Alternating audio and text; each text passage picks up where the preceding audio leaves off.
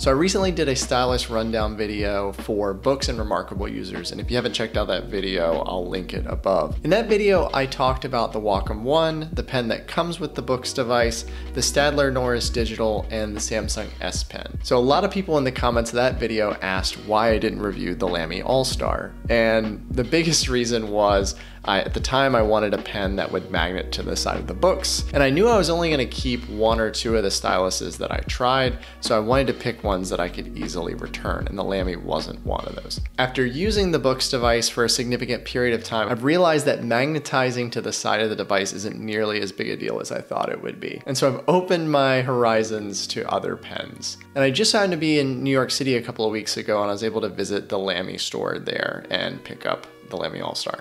So my initial impressions were that it feels really good. In my head, I thought it would be a lot heavier than it is. And I just had this vision of what I thought this pen was gonna feel like. And it was this big heavy thing, kind of like the Studio Neat Mark 1. This pen is, is not particularly heavy, but it's heavy for its size. It's smaller than the Lamy, but it weighs, I don't know, maybe a third more than the Lamy. The Lamy actually feels so light that I didn't actually believe it was aluminum when I first got it. Uh, asked the person who worked there, I was like, uh, this one's plastic, right? And the other ones are metal? And it was completely wrong. It, it, it's aluminum. Also, having a cap has been way more useful than I ever thought it would be.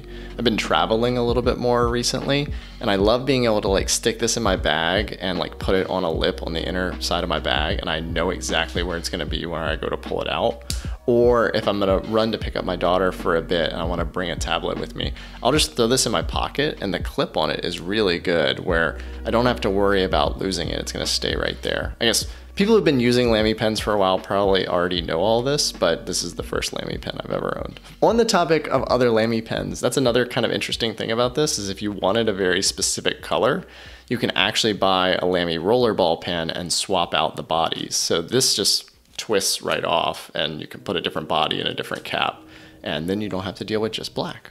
I happen to really like black, so I'm in luck. So who should buy this pen? I think anyone who wants a thicker pen, like a girthier pen in their hand.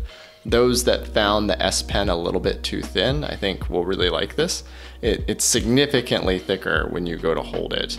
Um, so much so that it doesn't quite fit me perfectly. Like I find it slightly fatiguing, but I really like the thickness of the S Pen um, but I know that pen is way too thin for most people. Um, honestly, it has this triangle grip, um, very similar to the Staedtler Noris. Honestly, for me, I think anyone who's interested in buying the Staedtler Noris would probably be better served with the Lamy because if you're already picking up the Staedtler, you don't care about the magnet um, because the Staedtler doesn't magnet. And this has a cap, which I think is really handy if you're on the go. I didn't realize a few months ago when I started on these videos how important it is to protect the nibs. The nibs can really get wrecked without even really noticing. The other thing I'll say about this pen is depending on your device, the default nibs that come on it might not be great. I got the version with the palm tip, which is the rounded tip that's very hard. I really like that on the Supernote because the surface of the Supernote is very soft and if you have a soft nib, it just kind of drags along. So like this felt tip that I have in there now, the Wacom felt tip, I don't like it on the Supernote, but I love it on the Remarkable and the Boox.